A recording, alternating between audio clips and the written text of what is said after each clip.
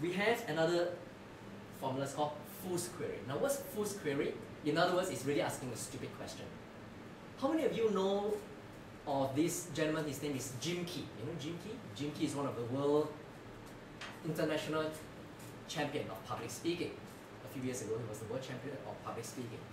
And he, re he related this story in his world champions world championship speech. And he said that when he had to go for surgery on his hand, this the nurse shaved his right hand because that's the hand that's supposed to go for surgery.